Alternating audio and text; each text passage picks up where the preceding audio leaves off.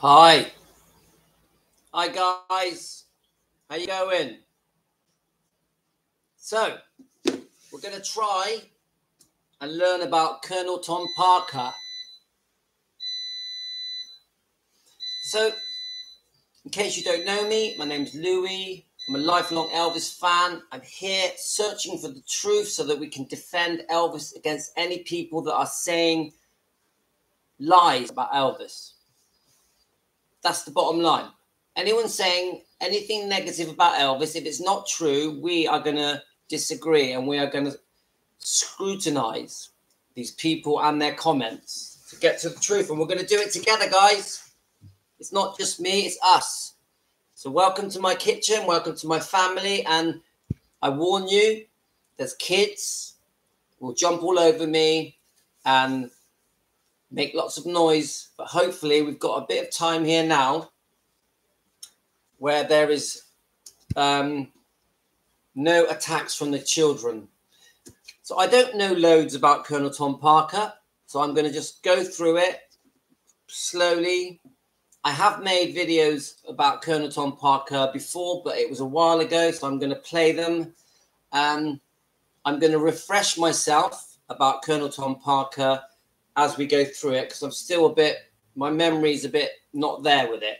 All I know is that the general thing around the world is that people think Colonel Tom Parker ripped off Elvis took 50% of his earnings, and that he's the reason Elvis did not make decent movies.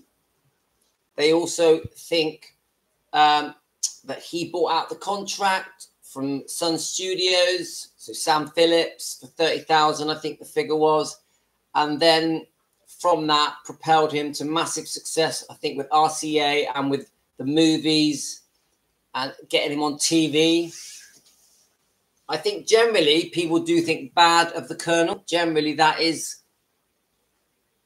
tends to be what everyone says. They all feel that he ripped off Elvis and held Elvis back, isn't it? Isn't that general thing? I do think there's another side to the story. I think that Colonel did have his uses and he could open doors when he first met Elvis.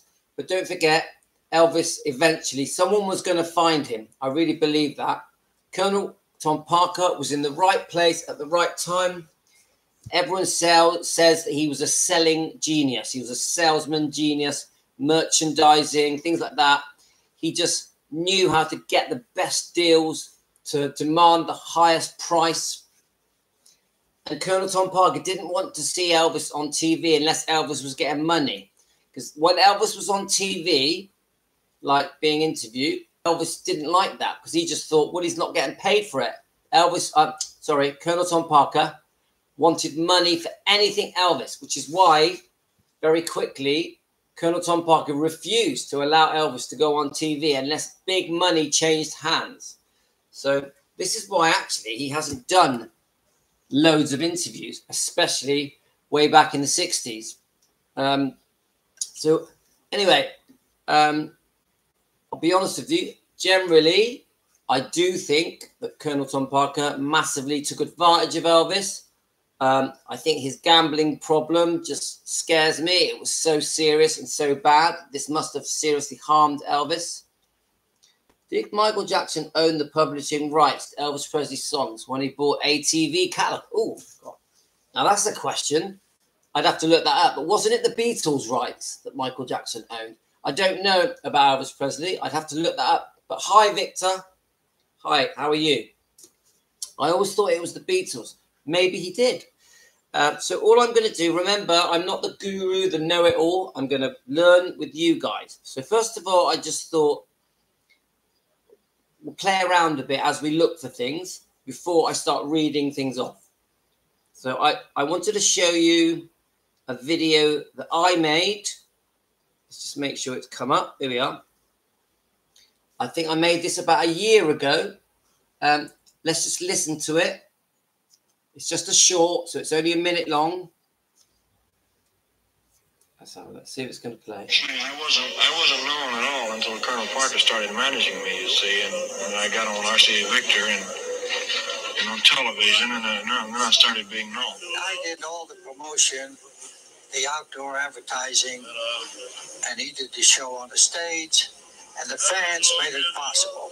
So I did my part, Elvis did his show, and we were lucky. There is a love hate relationship with Colonel Parker. Colonel did control Elvis. Part of that is okay.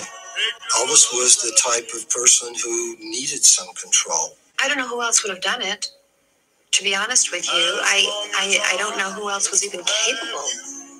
I don't know if Vernon was really capable of handling all that the media, the planes, the contacts. He didn't have the networking that Colonel Parker did. They say anybody else could have done it, perhaps so. Uh. But I was happy to be the one that was with him. Okay, I made that I think about a year ago. Let me just shut the drawer, the doors, because we can hear the dryer. Shut the. Plus, I want to just turn over my food. I got my meat cooking, Tracy. How are you, Tracy? Today it's steak, pork bellies, and lamb. I'm not eating it at the moment. I'm going to eat it after the show, but I've already had a steak and I cook it in the air fryer, Tracy. Tracy is a. Ooh, let me just open it. Tracy is a fellow carnivore. Um, it's a diet that we're on, carnivore, keto, and it basically restores your health and helps you lose weight. That's the bottom line. It gives you back your energy levels. So, cheeseburger for lunch, yeah? Oh, ribeye for steak. Come on. Ribeyes are in England. I don't know how much they are where you are, Tracy, but where we are, they're a rip-off. Ribeye steaks are a rip-off. Right, let's see what else we found here. Let me just see. Um, with Colonel Tom Parker. Oh, yeah, that's what I was going to do. I was going to go on YouTube. Like, this is an experiment, guys. Before I just start, because I'm going to read to you, but I just it's a bit boring. So I thought I'll just type in Colonel Tom Parker and just see and read some of the comments that people um, put on other channels on YouTube and just get a feel for how people feel about Colonel Tom Parker. It was just an idea. We're going to try it. So I'm going to just click on any video. Ward from the Come on through here. Sons of Croon gets through talking to you. Ward from the Come on through here. Sons of Croon gets through talking to you. So I'm going to, let's just see. Right, actually, that one's only got one comment, but let's see what it says. He gambled with Elvis's money and wouldn't want to be him on Judgment Day. What a scammer and shame on him. That didn't surprise me. Right, so I'm going to do a bit of that because I just think it's interesting. Only on the Colonel Tom Parker ones, right? So let's go. Een tijdje geduldig posten bij het Hilton oh. is het bingo. Uh, I might not be English, but hang on. The, Deze the, schuwe oude man the is triest oh, I like the footage.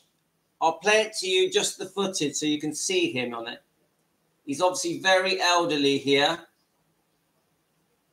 He did live old, didn't he? I think, I think he died in '96. Didn't he live till he was 80 odd?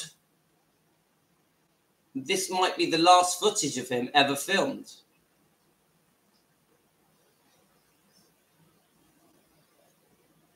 See a little bit more. There he is there.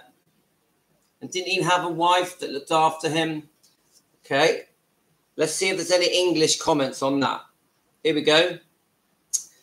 50% of Elvis's earnings went into this guy's pocket.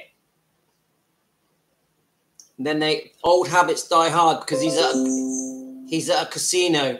Right. We all know that he had serious gambling problems at the uh, the Vegas casinos, and it is if you go by the movie, the like the Baz Luhrmann movie, and a lot of the things that we read and YouTube videos, they say that the deal for Elvis to play at Vegas was done on a table on a piece of paper, and all because Colonel Tom Parker had a massive debt to the owners of the casino. Now, is that true? I don't know. Right, let's keep looking. It said that he owed lots of money to Las Vegas casinos, and that is why he pushed Elvis to have a grueling touring schedule. Touring schedule. Come on, we all know that towards the end, Elvis was massively overworked. There's some swear words here. They even call him an alien demon. Alien demon. We've got very opportunist manager, could not manage at all. Um, that he was Dutch. Did you know that, guys? He was Dutch. I've heard the story that he even was involved in a murder, and that's why he left the country.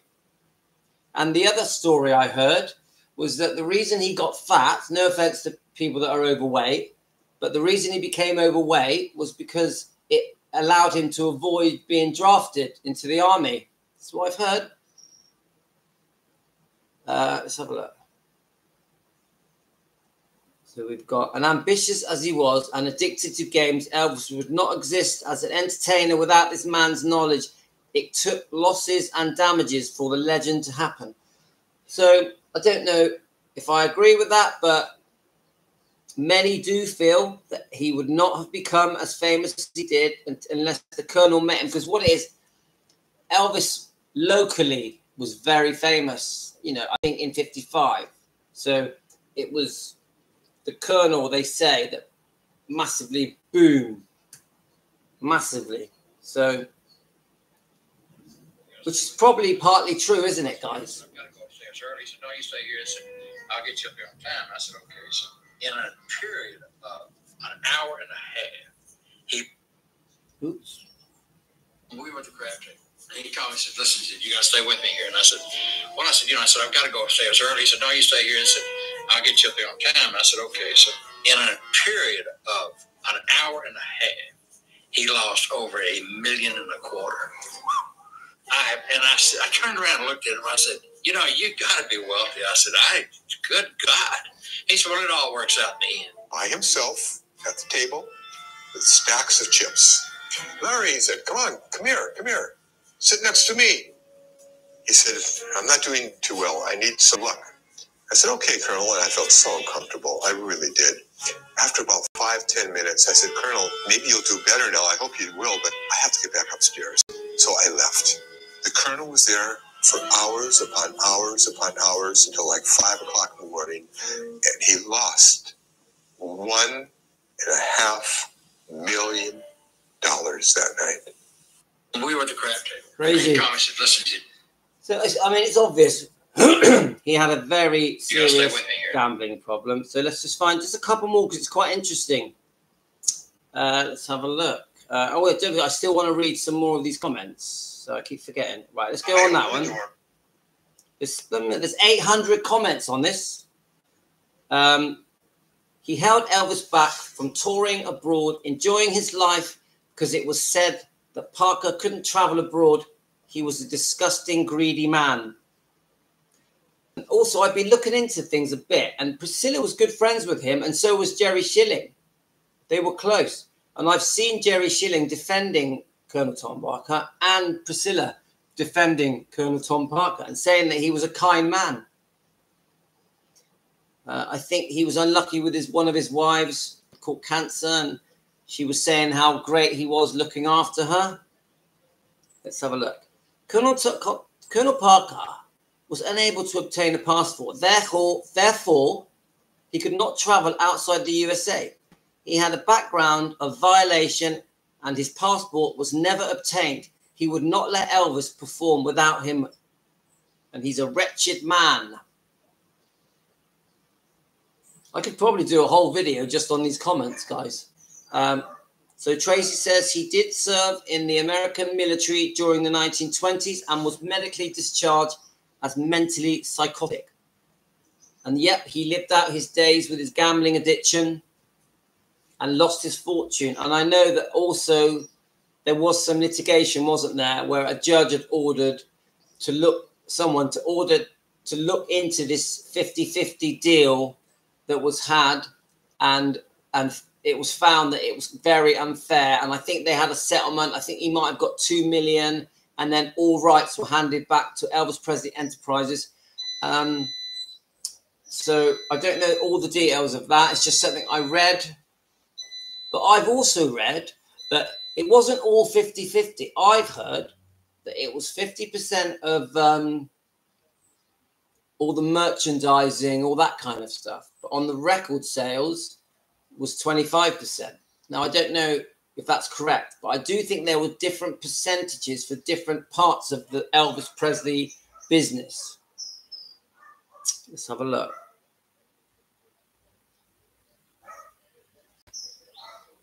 Uh, so again, he couldn't travel abroad.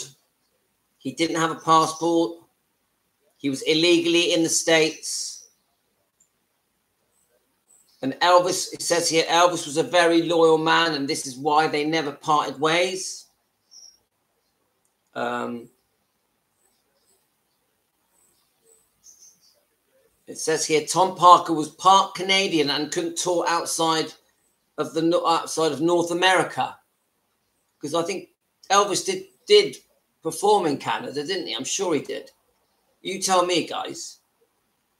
It says here, Colonel Tom Parker was a smart businessman. He was very sweet. The old man who helped Elvis get fame. He was the backbone. Okay. And I do see in different interviews people defending Colonel Tom Parker, saying that Elvis did need him. I wonder what your views are on that, guys. Let's go a bit more. Let's click on another one. It is generally conceded, uh, Colonel Parker, and to those who don't know it, let's tell them right now that Elvis's success was part Elvis, part Colonel Parker. Which part was yours? Because that was the less vis- visible part. I think mine was the least part. But explain it to me. What was it? What Well, did you do uh, for him to to to help bring him to the public's attention? I, I did all the promotion, the outdoor advertising, and he did the show on the stage, and the fans made it possible. You can promote all you want to, but if the people don't want to buy a ticket, it doesn't help. So I did my part, Elvis did his show, and we were lucky. Great talent, and we had a great show and a lot of fun. It is general. Well, I think that's very fair. I think the way he speaks about Elvis there is very fair. He doesn't take all the credit. He says he was lucky or we were lucky and they were in the right place at the right time. And I think that's quite, I'm actually quite like that. I have seen it before. I think all of us have seen all these clips, haven't we? Us Elvis fans. Um, no luck to it. Elvis's success still is his is that he was beautiful. He had a beautiful voice and charisma. He sure did. Let's listen. So Colonel right, Colonel Parker did the part that held Elvis back. He made him do the cardboard movies in the 1960s that he hated, and he prevented him from doing the real movies that he wanted to do. He prevented him from doing A Star Is Born. Yep. Now the other thing I heard that he almost he was able to do West Side Story. He played the lead in West Side Story. You imagine that, guys, if he did that. And then the other one was it Midnight Cowboy, the lead role in Midnight Cowboy. You imagine if he got that? Yeah, that would have been amazing. Prevented him from singing I Will Always Love You. And I've heard that before that Dolly Parton wanted him to sing it. Um, but I think the Colonel wanted Elvis to have half the royalties. So didn't let him do it. This is what you know. This we've all heard these things, haven't we? And stopped him from performing internationally, and we all know because he didn't have a passport, did he? All right, I actually like these. I'm going to go back find another one. Um, let's have a look. I like the shorts because it's nice short. Right, this is oh yeah, so this is good. Let's see.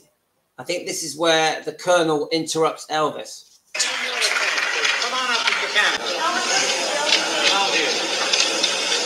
The the, uh, the belt is an, Bring your cameras over here. the belt is an award from the, Fellas a chance. Come on through here.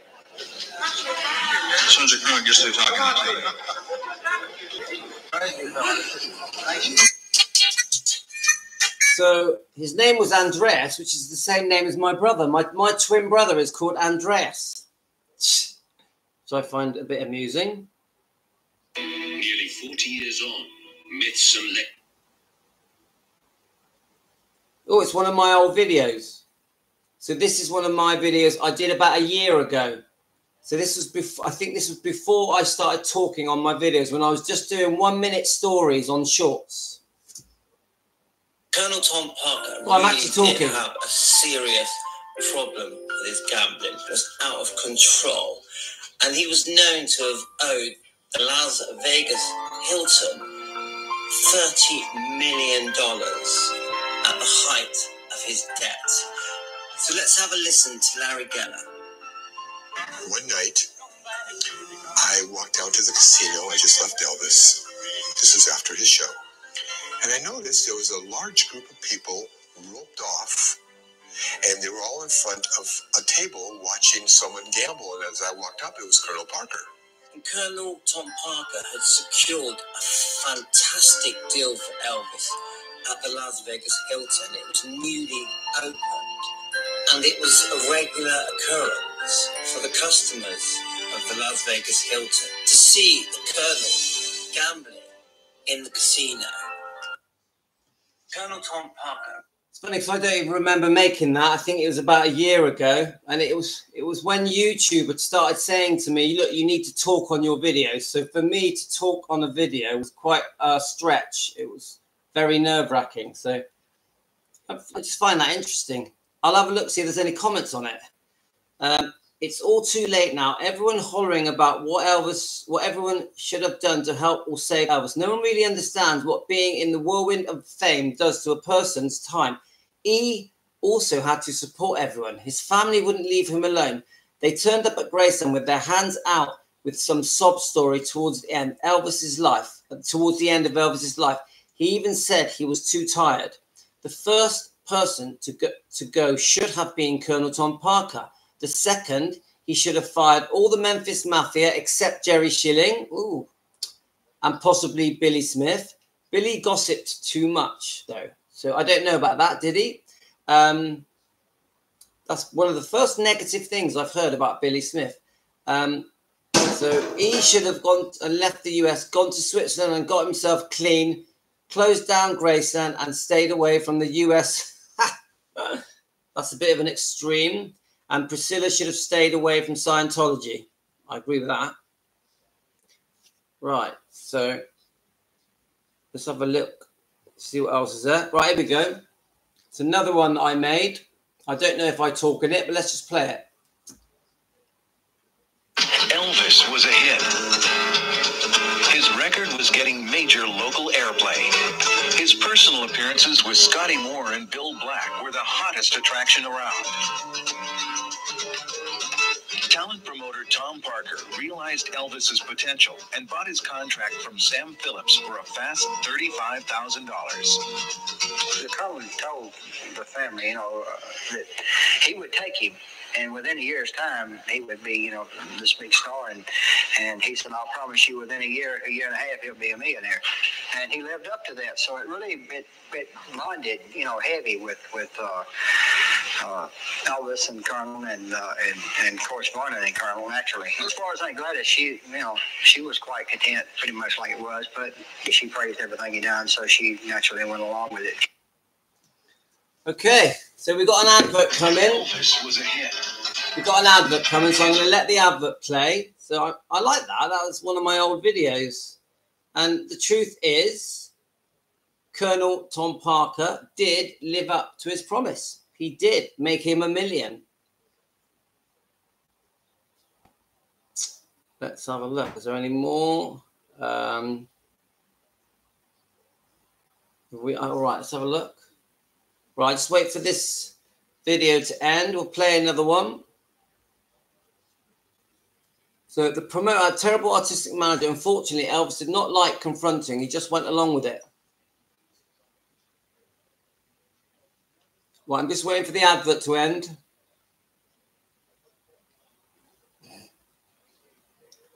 Boom, gone. Right.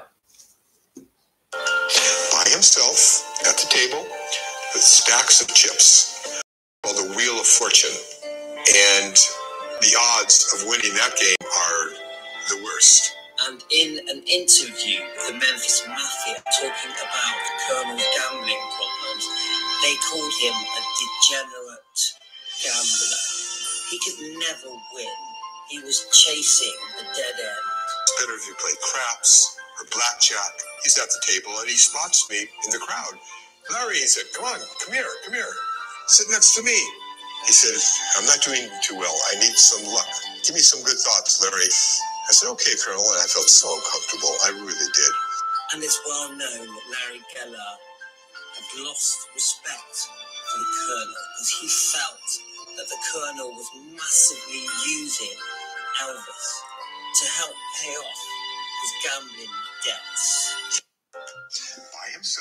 That's funny. I just seen these old videos I've made. I just find it funny. I'm talking very slowly, so I'm nervous. I'm very nervous. Right. Anyway, let's keep going. So let's just ask. Let's ask a few questions because I could just keep playing these videos, but I want to ask a few questions. All right. There is one. I will play this because this one is about the movie deals, and I know that everyone has always said that they feel that it was Colonel Tom Parker's fault that Elvis never only did a few good movies because he did do some good movies. I really believe that Elvis could have been a great actor. I really do. I think in Jailhouse Rock and King Creole, he's amazing. Right. In a candid interview with Colonel Tom Parker, he admits that Elvis was destined to be a superstar and that it wasn't because of him he became a movie star and that anyone could have managed Elvis and Elvis would have shot to fame quickly. But what he does go on to say is that he negotiated the best deals possible for Elvis, and Elvis even got royalties for 25 of the movies he made, which was unheard of in those days. And Elvis, even though he grew bored and fed up with the movies, was the highest paid movie star for many, many years. Thank you, everyone. Well, I make a good point because the truth is, Elvis at the time was being paid the most money for a movie and getting a percentage of the profit, and no one else had ever had that. It was unheard of. And he was getting paid the most money in the world than any other movie star. So you must give credit for that part, at least half of it to Colonel, and then obviously the rest to Elvis. So it's the truth, guys. And I think the impression I get is the reason they kept going for the cheesy movie formula is because those movies at first in the earlier 60s, um, uh, I think there was 33 movies, is that correct? But those movies in the early 60s, not so much the late 60s. I think Change of Habit was the last one, wasn't it? In 69, I think, yeah.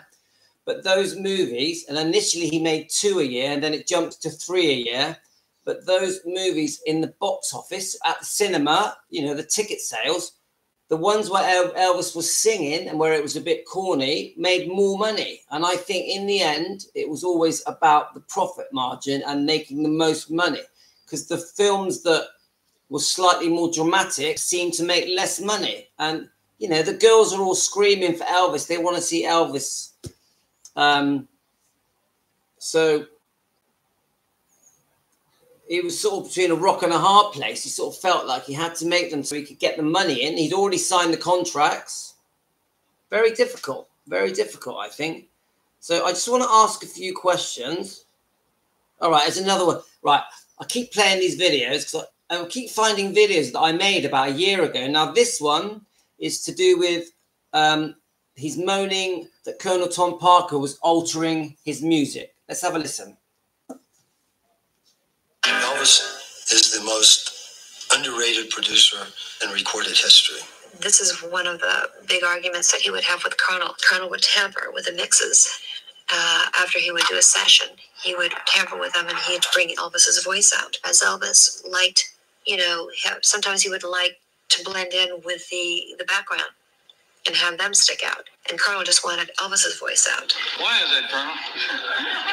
Colonel was Elvis's promoter, manager, probably meaning well, but I would hear him on the phone to RCA in New York. Marie says she can't hear Elvis with all that stuff going on. You know, we can't hear Elvis. and that was Colonel's first wife. I think the orders were right there. Pull Elvis out, pull the background down. Oh my God, all hell broke loose. Colonel would deny everything, said he didn't have anything to do with it, but he did.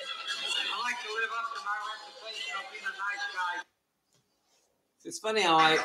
It's funny how I. I because what because YouTube didn't like me just posting videos straight, so I had to really thoroughly edit every piece, and I would bring in lots of different short video clips and pictures, and I would spin them around um, to keep YouTube happy because they didn't want me just just to copy things. They wanted my version of it, which is why everything's spinning around like that, guys. Um, so I hope you don't mind me playing these little clips. Are they okay, Tracy? Are you like getting them through the through your screen? Uh, are you, or is it all a bit too fast and shaky? Please let me know, Tracy. Yeah. So right, let's go back. Okay. Right, let me just see what that is. Tom Parker's fan engagement strategies. I think that's really Right, let's have a look. Presley. Okay, so I'm now gonna just ch- start changing what I'm doing. I'm gonna go a bit more basic and just how did Tom Parker meet Elvis? Just just to see what what comes up. We've got a helicopter going over. So Tom Parker had seen Elvis perform in October 1954 and met him backstage through the Elvis manager Bob Neal. Neal knew Parker, who had many, many connections in the entertainment business and could take Elvis to the next level and wanted the young singer and the promoter. I think Sun Records was actually called Memphis Records um, when I know we all know it as Sun Records, but I'm pretty sure it was called Memphis Records. How old was Elvis when he started with Colonel Tom Parker? He was 20 years old. So Tom Parker and Elvis, 1955, the contract was signed between Elvis and the Colonel at almost the same time as Elvis's contract with RCA.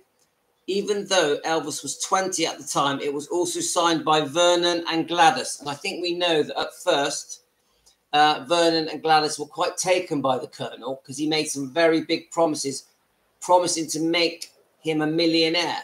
Unless that's just a rumor and hearsay, but let's say that it's true. And he did make him a millionaire. Elvis was the highest paid movie star in the 1960s, as cheesy as the movies were, yeah? So, how much money did Colonel Tom Parker take from Elvis? Memphis Recording Service, owned by Sam Phillips. Yeah, that's right. And I've got, I found some old pictures of Memphis Recording Services. Um, it's all there on YouTube and on Google. Right. So, how much did Colonel Tom Parker get from Elvis? Terrell said, The reality is that Colonel Tom Parker received 25% of the record and movie deals and split merchandising deals 50 50. Colonel Parker did receive 50% of the revenue from Elvis's tours. Um, yeah, so this is what I was saying earlier in the video. It wasn't 50 50 everything, it was 25%, like I just said, on the movie deals and then it was 50% on the merchandising. But yes, and this is quite upsetting, really. On the Vegas tours, he did get 50%. Now that that's a shame, isn't it? That Elvis had to work that hard in Vegas and was doing two or three shows a day, and half of it was going straight in the Colonel's pockets. Not good. Not good, guys. Did Colonel Parker attend Elvis's funeral? They worked together until death. Parker attended the funeral. His choice of attire shocked everyone. All right, so I wonder how he was dressed. So here we are. When did Elvis split from Parker? And I think this is what to do with Elvis Presley Enterprises. And they say the final split came 25, 28 years after he died. No, 20, no, not died. 28 years after his association with Elvis in June 1983. Um, everything was severed. No more. Colonel did not get any more money. Right, here's a good question, guys. Did El, uh, did Elvis Presley like Colonel Tom Parker? And then here it says, I don't think I would have ever been a huge if it wasn't him. He's a brilliant man. And this is what Elvis said in 1956. Yeah, but he said it when he was very young. I agree. In 1956, Elvis really did believe that Colonel Tom Parker had shot him into the stars because don't forget how much changed. He, he had he had the RCA deal, he had the movie deals, he'd made a few movies. So and he was he had suddenly become a household name around the world in every country. And Colonel and Elvis just thought, my God, the Colonel is doing his job well. So I do think in the early years, Elvis was really happy with the with the success they were having. Okay, right. Let's uh, let's just just put. Let's see if we can. I think I did put a few notes on my. Right here we go. So we've got the Elvis Australia site. They do seem to have some information here. I'll just I'll read a bit of it. I'll just see if it's any good, guys. So nearly as legendary as his famous client, Colonel Tom Parker, Elvis Presley's manager, he was mysterious and colorful, and under his guidance, his one and only client, Elvis Presley, reached unimaginable heights. Well, he did have other clients before, didn't he? Wasn't he more into the sort of country music acts? I'm trying to remember the name. Sorry, there's a helicopter going over.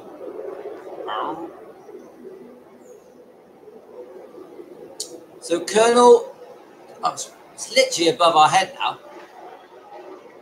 Can you can you hear it? Right, off it goes. Right, Colonel Tom Parker, involvement in the music industry,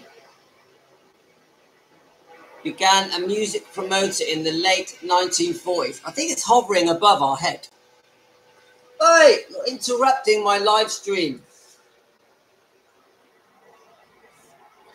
Um, right, that's it. He's going. Is he going? Let's read some comments while we wait for him to go. Um, Memphis, okay. That's why Lisa Marie's lawyer was appointed to investigate the dubious contracts against Priscilla's objections.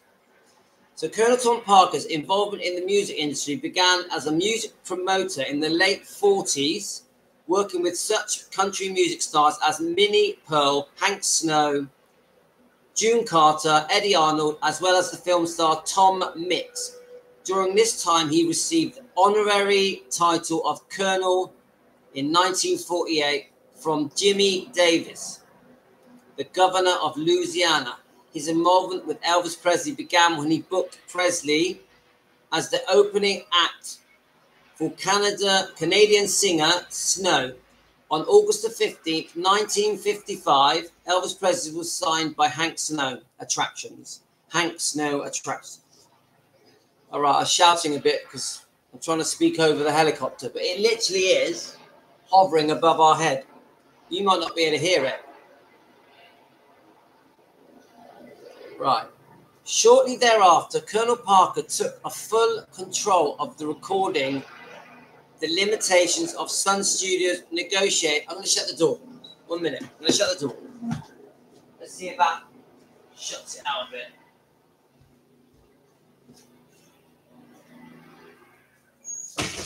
Aha! A little bit better, guys. A little bit. I'm going to put a complaint in about helicopters in the area.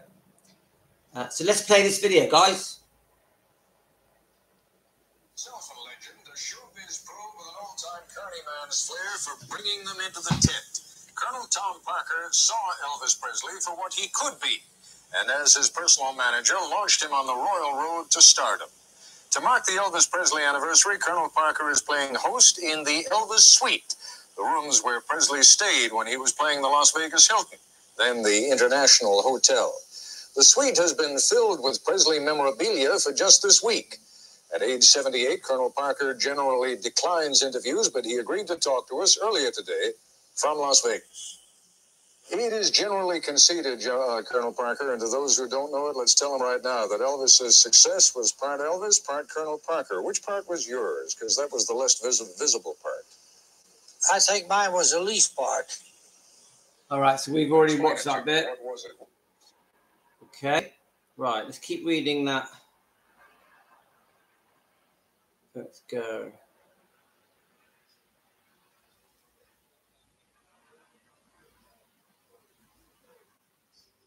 Just click on it a minute. Just clicked off. Ding. Right. Um, here we go. So, um, right here we go. Parker was a master promoter. Colonel Tom Parker took a full control of the recording and limitations of Sun Studios, so Memphis uh, Studios, uh, and negotiated a deal with RCA Victor for $35,000 on November the 21st, 1955. Parker was a master promoter who wasted no time in furthering Presley's image. Colonel Parker managed Elvis Presley from 1955 until the singer's death in 1977. Prior to managing Presley, Parker helped transform Eddy Arnold into a country superstar with his own radio show, movie roles, Las Vegas bookings, and an unparalleled to resume of one record in steering the careers of both men. Parker revolutionized the artist management role and displaying an unprecedented marketing savvy whilst exercising near total control. His energetic, all encompassing management style created a blueprint that is still followed today. Oh, I don't know about that. I don't know about that, guys, but Parker, a purposeful, perceptive, and mysterious character, was born Andreas Cornelis van Kuijk in Breda, Holland, and entered the United States illegally in 1929 after serving in the army for three years in Hawaii.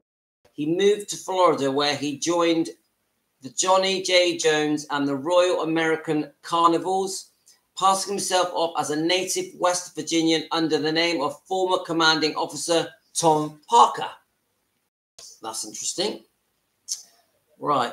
After several years of carnival life, Parker settled down and became a director of the Tampa Humane Society. He was, among other things, Tampa's chief dog officer, where he developed a, re- hmm, a remunerative range of pet services pitches and translated seamlessly into showbiz promotion. Okay. I'll just there's an old video here. I'll play it and just see what happens.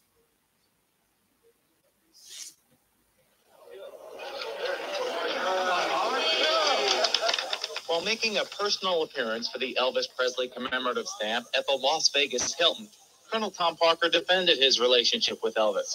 He gave this rare television interview exclusively to Inside Edition. Scripts. I never read script. Elvis read script. The boy brought him script. William Morris. I had nothing to do with him picking whatever picture he wanted to make. Colonel, I've spoken to some people in the so-called Memphis Mafia, and they told me that one of the reasons Elvis got so heavily involved in drugs was because he was frustrated with his career, a career path that you led him on. What do you think of that?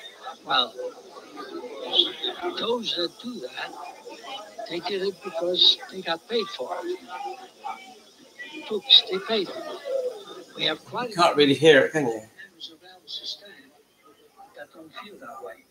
Time and Right, it's not really loud enough, so I'm gonna jump to the next bit.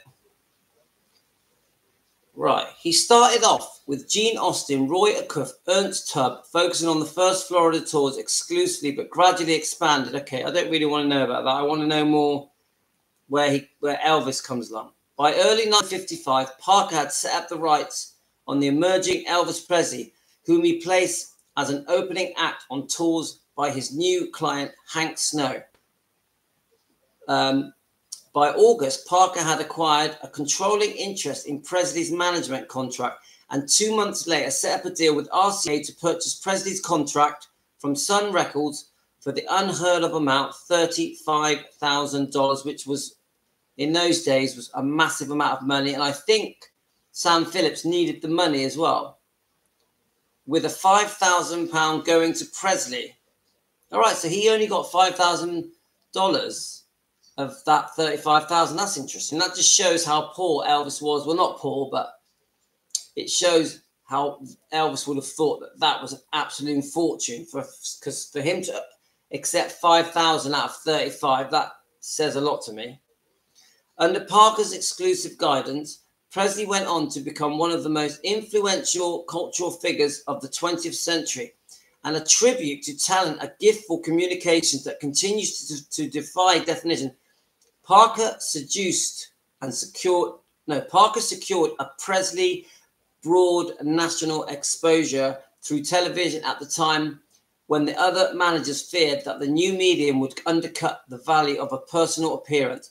Calling the shots in Hollywood, Parker made Presley a number one box office star and kept the entertainer career alive during his two year stint in the army. Well, I'll be honest, you guys, even if he didn't try and keep his career alive whilst Elvis was in the army, come on, no one was going to forget Elvis. No chance. Impossible.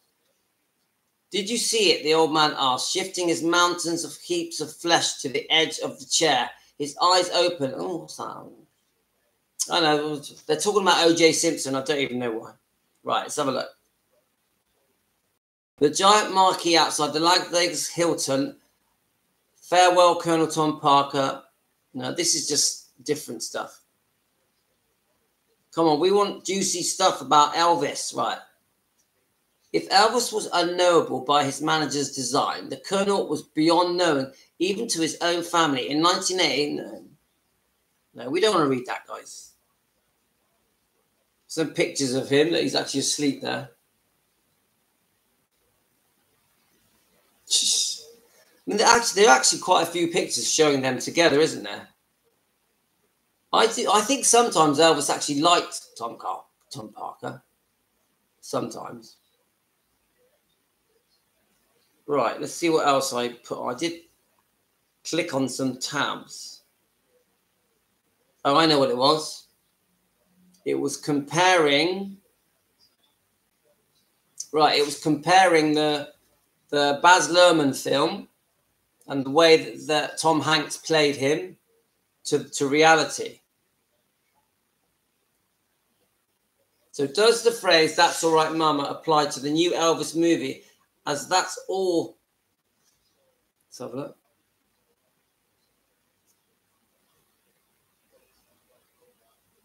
All right, let's start again. So, so it says here what Elvis gets right and wrong. The real Colonel Tom Parker. His accent, right? This is comparing the movie, the Elvis Baz Luhrmann movie, to the reality of the real Tom Parker. So his accent wasn't so theatrical and he was way funnier than Baz Luhrmann gives him credit. But according to Alana Nash, who spent time with the real Colonel Tom Parker in the 90s, there were times when he was just as scary as what you see on screen.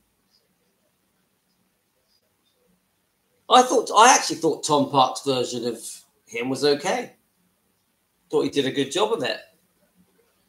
In 1963, Colonel Tom Parker and Elvis Presley, audacious manager who had gotten his start selling candy apples at carnivals, read in the paper that Franklin Delano Roosevelt presidential yacht, the USS Potomac, was going to be salvaged. Some called it a floating White House, but Parker, who was born in Holland 1909 as Andreas Cornelis van Kuijk and never became an American citizen, didn't care about that. He saw the Potomac as just another snow job. And as he called his art of the con, he would donate the rusting hulk to charity as a PR and feather in the cap for his client Elvis Presley. And I did I've seen the footage of all this. Parker was no good. Took advantage from Elvis. Elvis Munn did not let Parker, would not let come to England. Yes, that's right, Teresa. Um, on the February the 14th, 1964, five days after the Beatles made their debut on the Ed Sullivan Show, Elvis sat at a press conference with the Colonel on the pier of the Long Beach, California, with the actor Danny Thomas there on behalf of St. Jude, the Memphis Research Hospital. Thomas found that he to help cures the catastrophic childhood diseases. He graciously accepted the piece of blah blah, and Thomas is said to have called the boat sell for cash, and press cameras clicked away and freshly painted Potomac gleamed in the background. The colonel chuckled to himself. Elvis had paid $55,000 for the thing, but the colonel snowman to the core apparently had only had one side of the yacht painted. Okay, that's I, I know I do know about this. I've watched the clips, the black and white clips. Um, Elvis looks great. So they're just talking about this charity event, aren't they? That but right. Let's have a look. Hmm. So, aside from arguably being the father of American popular culture through the marketing and merchandising of his client, Colonel negotiated one of the first 1 million uh, per picture deals for a Hollywood actor and landed Elvis in the highest paying Vegas contract for the time and protected the exploitation rights for dead celebrities through his swift actions for the Presley estate in 1977. He also staged the first live international soul concert via satellite and Elvis Aloha from Hawaii special in 1973. So then it says, but the Luhrmann's treatment, he is Satan in the snowman sweater and the bombastic director as a vulgar in his own way of Parker in his way, paying him little respect for his significant business acumen.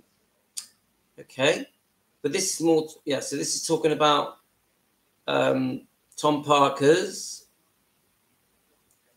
Hanks gives Parker a pan-European Nazi accent, but in real life, most people bought his story for hailing from Huntington, West Virginia, a relatively isolated area in the 1950s. His accent on the display in the rare interview with Ted Koppel in the 80s sounds more like a slight speech impediment mixed with the installation of rural upbringing. He had trouble with the consonant R, which sometimes came out of Mr. Presley.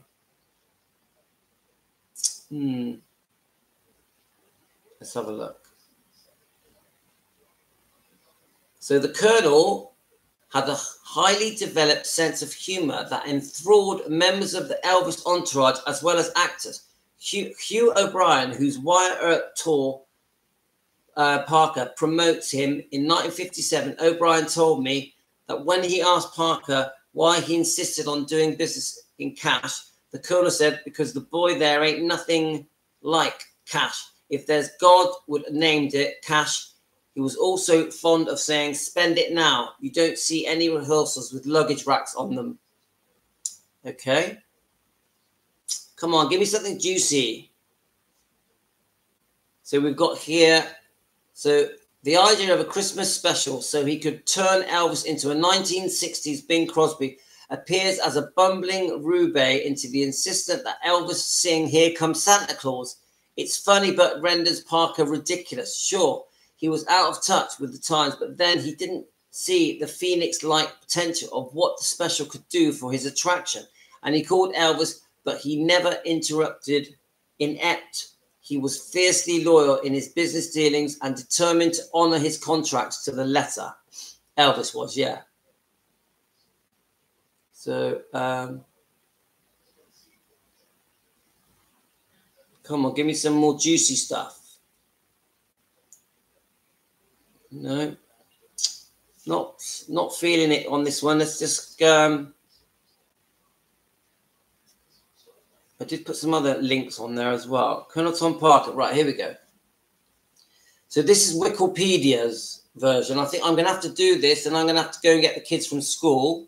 So we're coming up to an hour anyway. So there's going to have to be a part two of this because I think uh, there's a lot more I need to learn about Colonel Tom Parker. But I'm trying to learn it with you guys because I'm quite new to this. So he was born in June the 26th, 1909. Um, and he died January the 21st, 1997.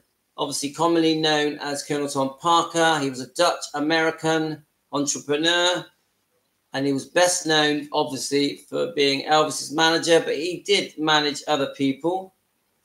It says here that he died in Vegas, which I think Teresa did tell me that he lived out his days in Vegas playing on the slot machines.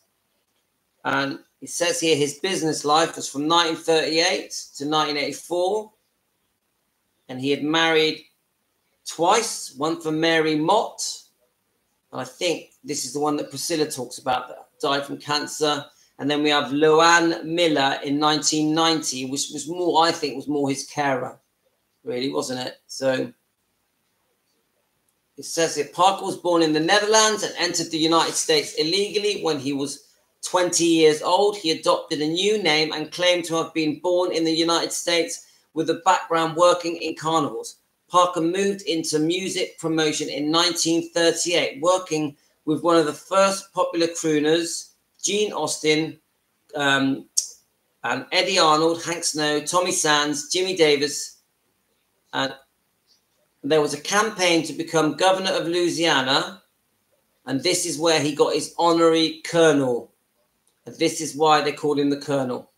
Parker entered, no, encountered Presley in 1955. By 1956, had become his manager. With Parker helped Presley signed a recording contract with RCA Victor, which led to commercial breakthrough in 1956 with his sixth single, Heartbreak Hotel and a career as one of the most commercially successful entertainers in the world, Parker received more than half of the income from this enterprise, an unprecedented figure for the music manager.